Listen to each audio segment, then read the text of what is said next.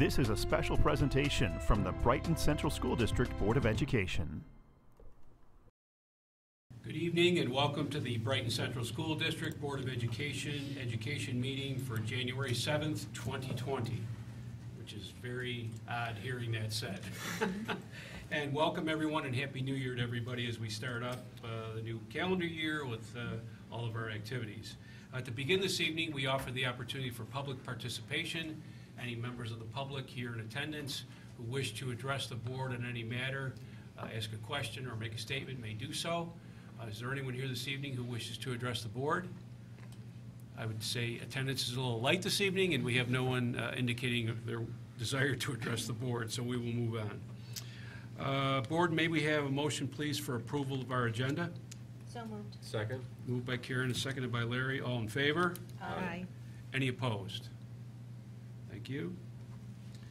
Uh, Motion now then, please, for approval of the minutes from our December 17th, 2019 business meeting. So moved.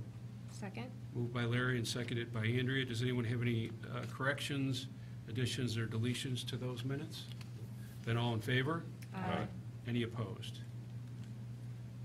Thank you. Then we're going to start off the new year with our principal reports, and we will begin with Council Rock Primary School and Principal Matt Tappan. So you're actually getting a two for one. All right. um, because before the break, we had planned on presenting uh, a little bit about science and how science has evolved, um, some of the new standards, and how we are responding to that kind of K 12. So that is going to continue to happen, and then we will intersperse our own uh, building uh, updates that will be a little briefer than normal. So um, this presentation was put together mostly by Renee Weedor, who is our K-5 math science uh, coach, um, with support from Allison and myself. So we are presenting as a threesome, although she's not here. So, um, so yes. So, uh, so a little bit about the next uh, generation science standards. If you don't know, they have been a long time coming. I know you will find this 100%, you know, a surprise that New York State took a long time to define and then produce uh, what they needed, which then put all of those people who were planning for it, not only our teachers, but the companies that like to support um, the science learning with all the materials, kind of behind the eight ball. So we're kind of slowly rolling this out um, as uh, as New York State did. But um, one of the things that they did was they uh, added three dimensions to the science standards. So there are the practices, so those are like the doing of science. There are the disciplinary core uh, ideas, which are the facts or the things that you kind of memorize and learn. And then there's something called the cross cutting concepts, which are the things that kind of go all, through all different things and connect the science. So um, when you see this tricolored um, uh, symbol, it actually has the meanings of the practices, the content, and the cross-cutting concepts. So a little bit about the engineering practices. So they fall under investigating practices, sense-making uh, practices, and critiquing. So those are things like asking questions. So these are what good scientists do. They ask questions, they plan and carry out investigations, and they use math and computational thinking. The sense-making, developing and using models. So you'll see that throughout analyzing and interpreting data, and constructing explanations and designing solutions. And then under the critiquing, engaging in argument, so really being able to support what your thought is after you've put it forward, and then obtaining and evaluating and communicating information. So those are the, the three kind of strands underneath the practices. And then the disciplinary core ideas are um, life science, earth and space science, physical science, and engineering technology science. So again, those are kind of the pillars of the facts. So we have gone with Smithsonian, yes, the uh, Smithsonian Institute. So yes, we've gone with a very reputable company. Um, we used to work through BOCES and do the BOSAT kits, but we did a, the science team did a pretty thorough trials of all the different kind of materials that were out there, and it was difficult because they were coming out as they hot off the presses, and they were you know, oh, we got this one ready for you. Can we try this? So our science team K-12 really did a great job, actually K-6 for this, um, looking at, and Smithsonian fantastic. They really are. They live up to the name of their institute and um, the the museum. They really are great. So they have developed these units, and these are the units when we are fully implemented. And I'm going to say that a couple times. We are not fully implemented. We're still kind of half in, you know, the BOSAT kits, and then half in the Smithsonian because it is a large lift for teachers to shift to some of these uh, changes. Um, and we'll talk a little bit about implementation, but you can see, and we'll highlight a couple of these as, so in your packet, you should have the names of these, but they put together a little bit. So one of the first ones that we did at first grade was how can we uh, send a message using sound? Um, and that is the kind of the inquiry, the, the entire big idea. Um, so this is all about sound, waves, um, some of the same things that you might have thought about studying when you were, you know, younger. But they uh, are charged with answering the question, what is needed to make sound, to discover how music is made.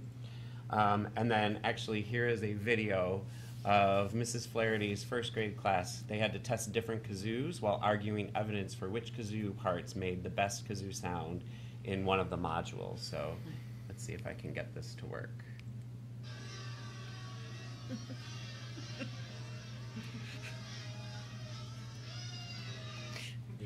So I have, That's as I've, sound. yeah, as I've walked through, I just have to tell you, these are highly engaging.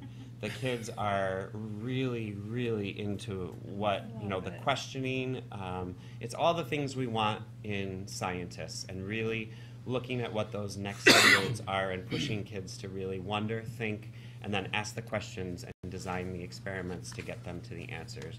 Um, at second grade, we've implemented the erosion. So talking about erosion, it always connects back, and there are a lot of supplemental materials that connect back to real life for the kids, so that it's not just kind of singularly standing out there as you know, does this float or does this sink? It talks about all of the things that um, that it means in life. So I'll let Allison talk a little bit about what it looks like at third through fifth. Thank you.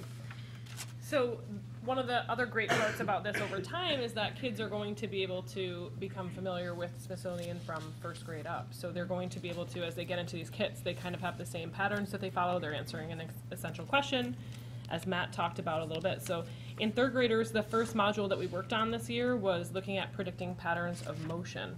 And third graders did that in a variety of ways. So in this picture, there are some kids from Jessica Cordova's third grade classroom who are using balloon models to de- describe how non-contact forces affect an object's motion in this module.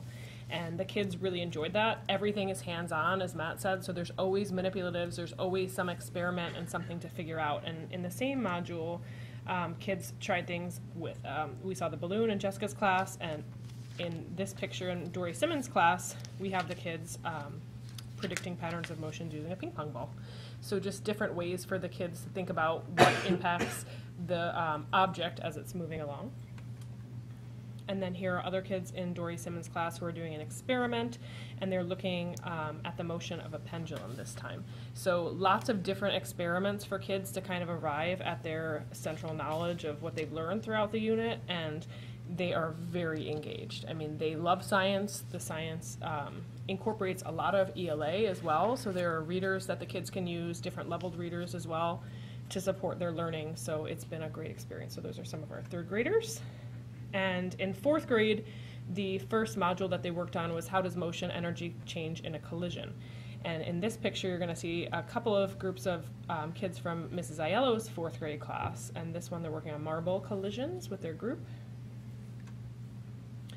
And then here, in talking about collisions, this one was a fun one for the kids. They created helmets for the egg drop challenge. So creating the helmets and dropping the eggs, none of the eggs broke in this class, so they did a great job. but um, kids really could connect this to real life, and the connection with sports causing damage to the brain. So all of the things that they're learning about have real life connections to. Here are some fourth graders in Mrs. Whittick's class working on the same module. In fifth grade, the first module that we worked on this school year was how can we provide fresh water to those in need? And these are some kids in uh, Mary Dubois' class working outside. And they are trying to get water from one place to another using the materials that they were given. Very engaging. and also some students here doing the same thing in Julie Navarro's class. So you can see different ideas using gravity and different ways to set it up to see what works. Kids are very engaged. Our team has gone through at, at Frez, we are a little bit farther along than Council Rock, which I'll talk about in a moment because there are more kits available for the teachers to use that have been published already.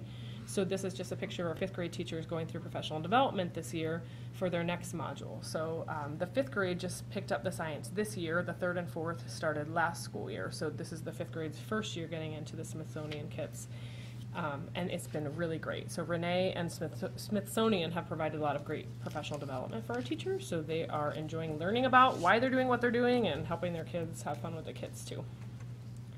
So for implementation, um, this is a general plan over the next couple of slides, which, which will um, cover where everyone kind of lands. And you can see that at Council Rock, they've started implementation um, last year and into this year. Some people tried it last year. This year we have more kits available. And actually, this is going to be a little bit delayed, even more so, because Matt shared with me that the kits are not quite ready. So they're not coming out as soon as we thought. So um, as soon as they're available, we're using them with our kids, and they've been great. At third, fourth grade, we have everybody, um, by the end of this current school year, will have gone through all of the science kits because it's their second year going through. So last year, they went through two, and some people went through the third kit as it came out, and this year, everyone will go through that. And there's a picture of some of our fifth graders. So that's our science update. We're going to jump over to Council Rock now. So before we go on, do you guys want to ask any questions or comments about the kind of K-5 portion Mm-hmm. Thank you, of the Matt. science? So when you talk about um, the kits not being ready, once we have the kit, it's something that can be used again and again and again. We supply the materials that need to. We, re- yes, we keep the consumed. kits. Well, Okay. we, we are the, BOCES keeps the kits for us, but we have access to the kits. And we're the only people using the kits right now. So, um, when they're available, we can use the kits. They're just not published yet, so we can't have access to them yet. I They're a think work one in of- progress. One of the unique things about this, and I think one of the reasons we ended up going with Smithsonian, besides the high quality of it, was that we jumped on board early and uh, at least at Council Rock, we piloted uh, a couple of them when they were still kind of works Mm-hmm. in progress and actually got materials for free because of that, and then provided um, feedback to the writers about the lessons, about the assessments, about things that experiments that were in it, and several of our teachers will be named, you know, and credited within those books, which again is just exciting. Um, but it was a way that we kind of were early adopters on that, um, and then are bringing the rest on board. So the professional development has been really key, and by doing that, we got actually some quality professional development for free as well as part of the package. So it was really exciting. Is the intention that the K-5 kits will continue to be evolving and updated and more available and new Yes. subject matter Yes, available? but four is the maximum. Four is the, Okay. so four To- would be full implementation. To cover in a year, Correct. right? But Correct. availability of, they could, they will build that If they're library, so to updating the speak, is that kits, the will we intention, have right? access to that? Is that what you're asking? Yeah, more, Well, and if they, if they add additional units, lessons. Yep, yeah, Mm-hmm. yep, Yeah. okay. yep. Okay, great. Yeah, that sounds fantastic, thanks. Great. So my update is relatively quick as I looked at what's happened since the last time we presented. So we had our, uh, we realized it was our eighth annual Stay in Your PJs and Read Day. Um, that started my first year that I was here. Um, so we had all kinds of reading activities, different um, guest readers, activities, um, people doing great challenges, but it just was a really nice, quiet way. We have Dr. Rio down here. We had guest uh, puppies that we read to. I was a guest reader in like 13 rooms. I've never gone home so tired as I did that day. You know, it's a really, you think you want to be in your PJs at work, and then PJs aren't meant for work. They really aren't, even though they're fun and they're comfy, um, but especially when you're working that hard. Um, and then we had uh, Greg Ahlquist, who, when we first started uh, our journey uh, with Habits of Mind, Greg is a former teacher of the year um, who teaches in Webster, and he came and spoke to our faculty about five years ago, kind of set us off in the journey. He really spoke a lot about my growth mindset. Um, we had him back actually as our continued evolution, um, and he's just a really inspiring teacher, an inspiring speaker, um, who he did growth mindset or uh, growth mindset. He called it 2.0 because he added some of the newer uh, kind of iterations that Carol Dweck has uh, put into that, and just kind of pushed our staff's thinking on how we continue to use that growth mindset to support our thinking, our support of our kids, um, as well as um, supporting the habits of mind as we see them going hand in hand. So, I'm gonna turn it. Oh, upcoming events. Um, so starting Monday, we have our PTSA Toy and Book Drive uh, that runs through all next week. Next Thursday at 7 p.m., we are going to do it in the cafeteria. Um, we weren't sure where we were going to do it. We're still kind of trying to plan with construction. Um, but Mrs. Jeffries and I talked about it today that, um, you know, we thought about streaming it into kindergarten classrooms. There just feels like there needs to be, for the first time parents come to Council Rock, a togetherness feeling. So we're going to be together. We're going to be tight. We're going to be really together. But uh, 7 p.m. incoming kindergarten information night uh, at Council Rock in the cafeteria. We'll have people posted to get people to the cafeteria. Um, but we will share some information that is for parents of in of kids coming to kindergarten. So not our current kindergartners, next year's kindergartners if they're planning to come or want information on that. Of course, Monday, uh, we have no school, Monday the 20th for Martin Luther King Jr. Day. And then um, I have a combined special education and meeting with the principal at 12 noon, Wednesday, January 22nd. I'm going to have to send out where that's going to be because we planned that time and then realized there's no place at Council Rock for that to happen. Um, so I will be sending out information. I have my PTSA uh, co-chairs meeting tomorrow, so we'll send out email blasts to let people know the topic, but also the location of that. Mystery, mystery location. Thank you very much, Matt. We appreciate it. you can leave, Matt. So it's concert time at Frez. So just before break, we had four amazing groups perform our fifth grade chorus, our blue band, our red band, and our orchestra, sounding just as lovely as ever. And we also had our PTSA family game night and meeting with the principal. So in trying something new this year, we are trying to kind of bring PTSA meetings with an event to bring families together. So uh, we had a lot of families attend, and we had um, probably about a dozen students from the high school come as well to play games with kids, which was really helpful. It's because the parents could come on the stage and talk with me and Miss O'Neill about anything that was on their mind. So we had a great turnout. We had lots of different things from challenging games to um, Legos for the little kids. And we have all of our fifth grade classes. Some have gone already, some are going now and into um, this month, heading to the newly designed Challenger field trip. So Dr. Baker and I actually went together just before break, and we got to see the new experiences that the kids have. Very similar um, kind of topic, but with all updated technology, and it was really amazing. The kids had such an awesome time. We went with Mrs. Dubois' fifth grade class, and we got to be part of the work that they were doing, and um, really impressive to see the work that they've done and how excited our kids and families were about that. Our third grade students, um, after the last time I presented, I realized I didn't share some of these, and some people shared them into December, but we had um, star quality projects, and this is a sampling from Mrs. Cannon and Mrs. Cordova's classes. Students had an opportunity to share um, as a culminating activity to their star quality unit, you know, what what works with star qualities and what doesn't work. And kids, some kids made picture collages, some kids made videos, some did some writing pieces, as you can see here. The kids did an awesome job with that, had a lot of fun. I thought this was neat to share because Mrs. Holfith has been using Microsoft Translator with kids in her um, classroom who do not speak English. And this is a picture of one of our new students in um, November who came to us speaking no English, and all of us are able to communicate with her because of Microsoft Translator. So um, our classes have picked that up to try that out this year, and it's been a really great tool, so I thought that would be great to share. And a shameless plug for our morning drop-off routine here. we have some new signs out on the drop-off at Frez. There's Miss O'Neill with them. We are always trying something new to make drop-off more efficient um, and hoping for the best. So just if anyone sees this out there, maybe they will say, oh, yeah, maybe I can follow those signs. So. Upcoming events at Frez, lots of roller skating coming up. Uh, fourth grade chorus in a couple of weeks, which will be great. The fourth graders sound awesome and they love being um, performing for the first time for school and their families. We have a movie night coming up at the end of the month, and then shortly after that, math team will start. Busy times at. Thanks. Thank you very much. are we having a group thing now for middle school, high school science thing, or are you leaving him on his own? We're a little more separated. but- Okay, that's okay, we understand. It's- I'm afraid he might make works. signs behind my back or something when I was right.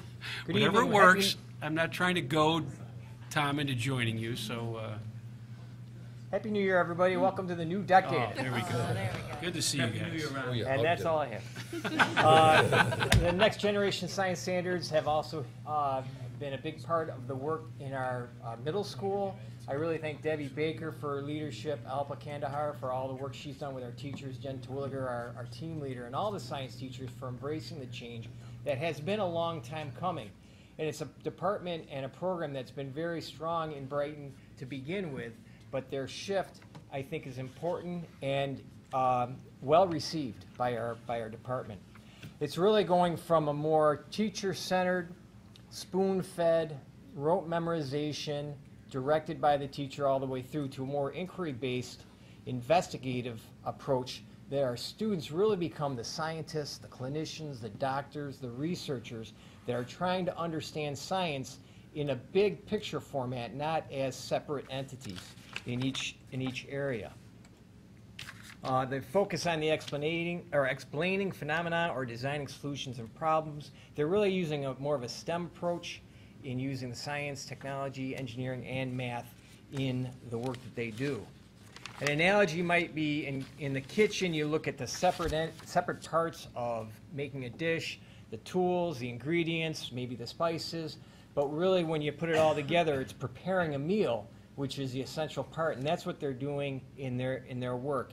Another analogy might be in, in uh, reading, uh, you're learning vocabulary, definitions, spelling, uh, sentence structure, but if you never read a book, you're not really experiencing what, what you should be. And that's how we're looking at the scenarios that are going on at the middle school. Uh, we've adopted a, uh, a curriculum called Amplify, which is a web-based program where the students are working on computers through different scenarios, not solely, but in a, in a much greater part than they used to. And they're brought to a scenario, and they have to find out what the problem is. In one example, a student is uh, reporting that she's tired all the time, and the kids have to figure out why this is happening. Is it from asthma? Is it a, a pancreas that's, that's injured or diseased? Are they just not getting enough sleep? Is it the diet? They go through all these things to finally learn that the, the fatigue is caused, caused by diabetes. And the process that they go through in a collaborative nature to learn this is uh, really helps them uh, helps them learn. Uh, one of the simulations the kids do in the classroom, they take on the role of a circulatory system. All the students in the class become blood cells. They transport nutrients and oxygen throughout the class, and then all of a sudden it stops, and they investigate what uh, heart disease is and cardiac arrest. And they go through these uh, scenarios, which we couldn't get the video for tonight, but I tried to describe the best I could. Uh, in another scenario, they have to find out why plants and animals in a biome, and this is a true situation that happened in the 90s in a biome in Arizona, for those of you might remember, uh, why the plants and animals aren't surviving or thriving in this scenario. And they found that the, the nutrients weren't returning into the environment quickly enough to support all the life that was there. So these kids are, they're working together, they're being directed by the teacher, but they are uh, looking at lots of different strands of science while still within the life science curriculum. In seventh and eighth grade, they're doing a lot of work to plan the implementation of the next generation science standards for the 21-22 school year. It's getting harder and harder to identify the school years as we advance through. Um, in seventh grade, which has been primarily a chemistry-based program, they're adding many of the elements in physics. And in eighth grade, they're adding more of an Earth space program to, that really addresses climate much, much more into their eighth grade program, but trying not to cr- recreate the Earth science class, which is already going on with eighth graders as well, which is a Regents level course. In physical science, they're still using uh, many of the concepts in this eighth grade course with gravity and uh, forces, magnetism, waves, and a lot of the other things that also implement or impact the earth and the uh, environment. So it's very exciting. It's a lot of hard work, and I, I'm really proud of our teachers for the work they've done and the way they've embraced the change. Any questions about the science at the middle school? That sounds good. Well, we did use a, a meals analogy earlier, and we have one here. The ELL Thanksgiving was just before our Thanksgiving, where families from all different cultures get together after school, directed by our English language learners and Kristen Halligan and her staff in that department, and they have a, a great time and a great meal. We had a meeting over here that day, and I was fortunate to get out in time to join them.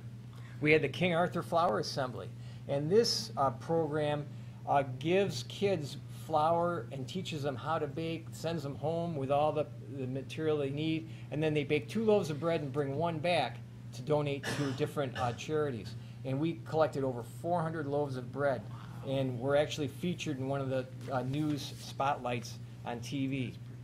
Our, our chorus, orchestra, and band concerts have been going strong. Uh, we finished our first round of concerts in December uh, at French Road and at the middle school. Huge participation there. A great participation in winter athletics with 151 total students in seventh and eighth grade and a number of different sports. And uh, 11 students, or excuse, excuse me, 13 are even up playing at the high school level. This is a picture of the swim team. They've, they've been doing really well.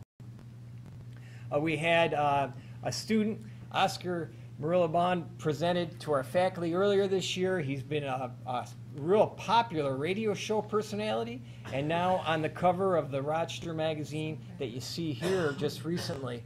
A uh, great spotlight and a great message, and just a fabulous, intelligent, uh, well spoken young man.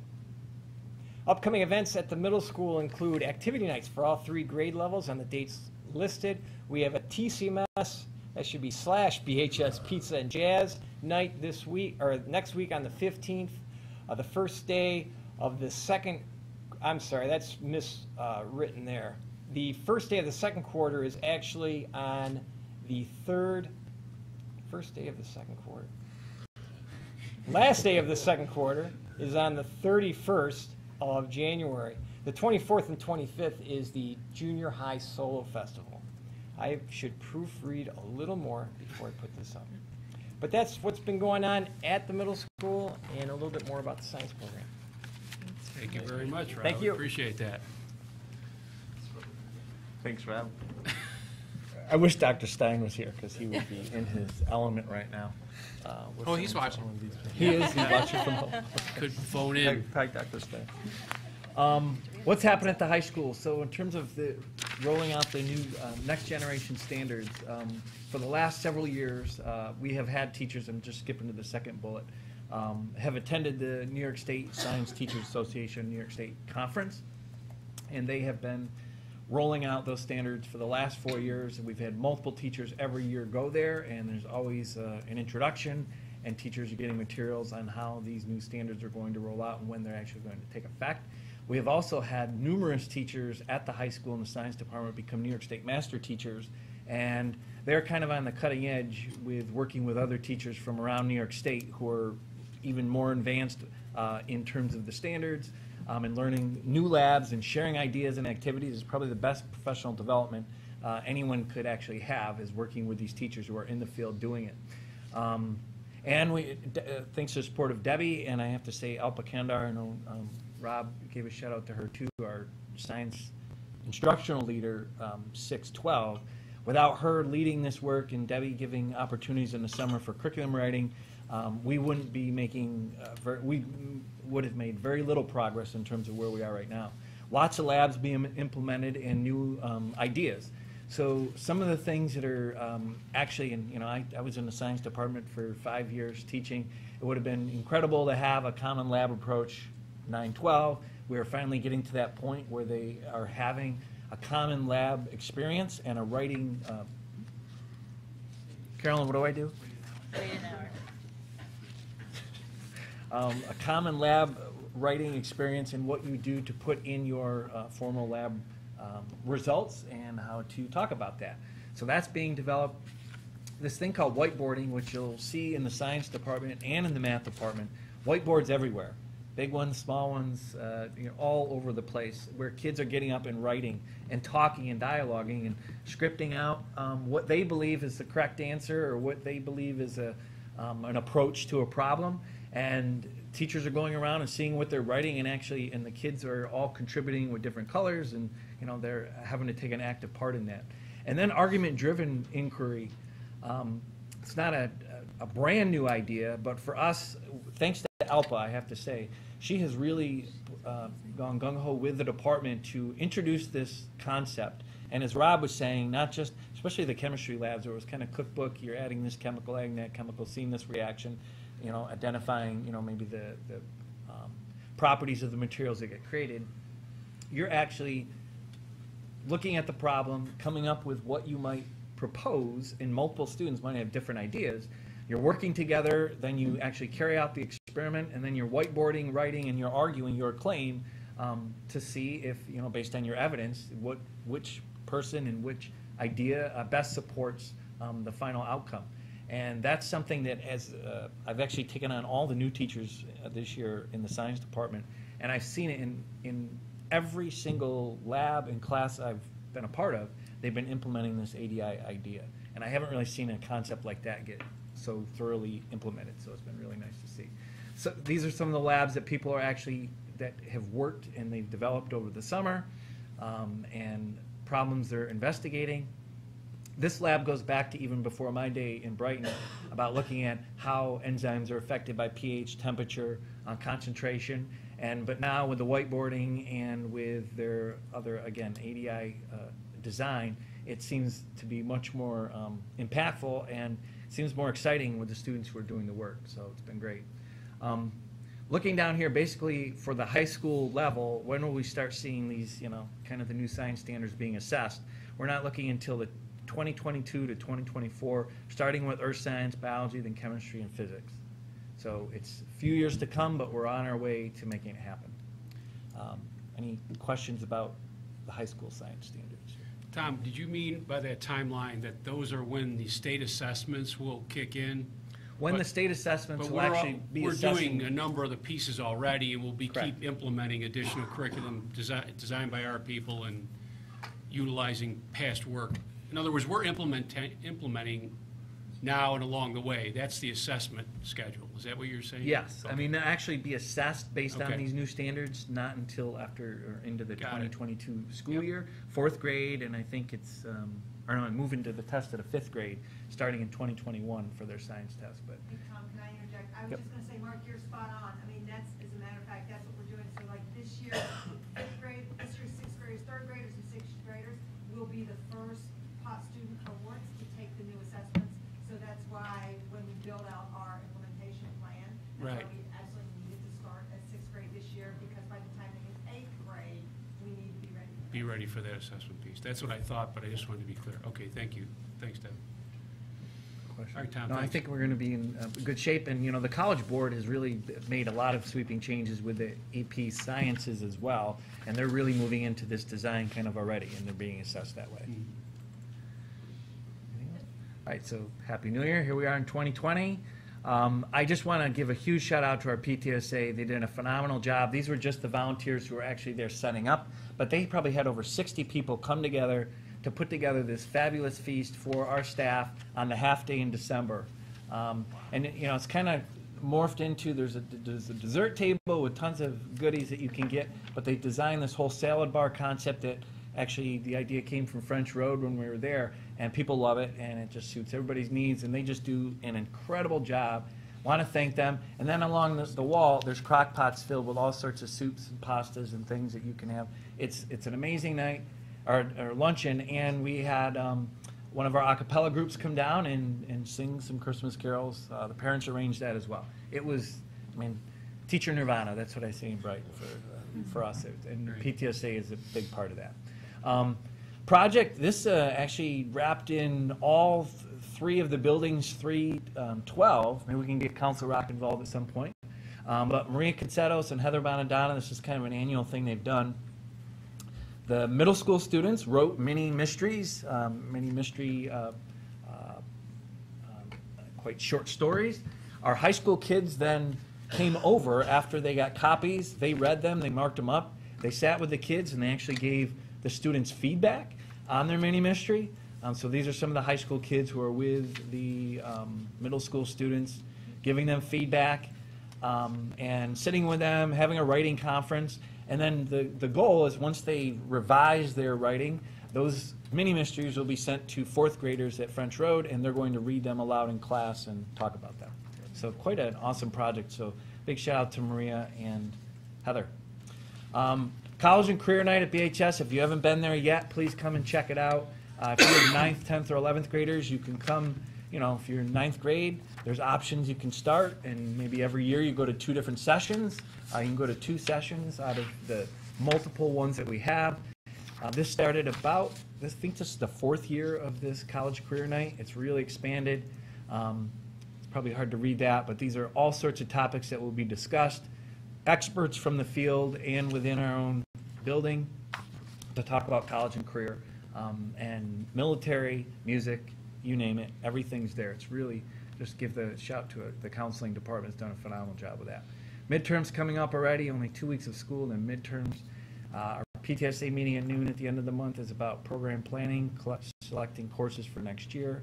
Eighth grade parent night in the class of 2024 is going to be at the end of January. And tons of events, as you can see here, moving up through, right to the end of the month. Any questions? Thanks uh, very much, Tom. We appreciate that. And- Thank you. And to all of our principals, we know it was difficult scheduling, uh, December timeframe, and it was very important to take a look and hear from you, the four of you, on the science standards and where we are in each building. So thanks, and thanks for the consolidated reports of, uh, of what's going on in the buildings. We appreciate that. Uh, A couple of other items of business this evening. Uh, May we have, Board, please, a motion for approval on the first reading of Policy 3225, Community Relations Section on speakers at district events. So moved. Second. Uh, Moved by Andrea and seconded uh, by Christina. Uh, This is a new policy uh, with regard, as it says, speakers at district events.